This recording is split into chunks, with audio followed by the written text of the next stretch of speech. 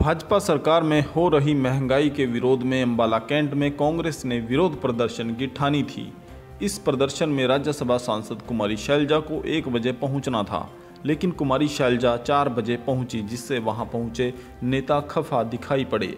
लेकिन दूसरी तरफ़ कांग्रेस के बागी दिग्गज नेता निर्मल सिंह के समर्थकों ने वहाँ पहुंचकर कुमारी शैलजा गद्दार है और शैलजा गो बैक सिरसा के नारे लगाए और काले झंडे दिखाकर नेत्री का विरोध किया।